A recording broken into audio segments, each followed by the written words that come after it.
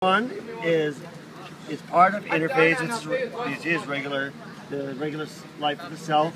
And G1 it grows, it makes more organelles.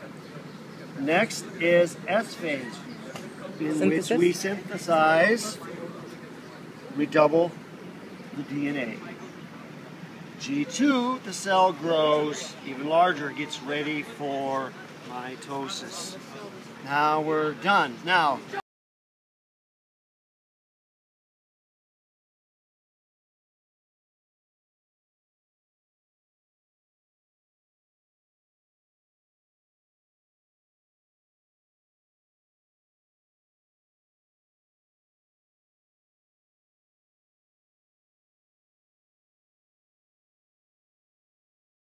into chromosomes. We can see the nuclear membrane begins to disappear, the nucleolus disappears, What's the, What's, the so what's this? okay, nucleolus, uh, the spindle fibers begin to grow, and as it goes on farther, these will begin to line up. Okay.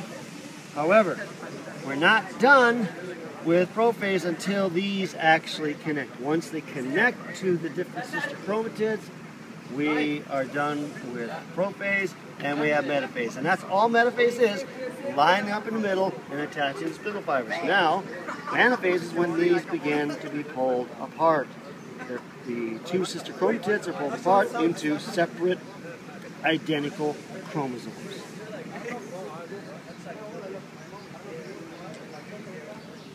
So these begin to pull to the opposite side.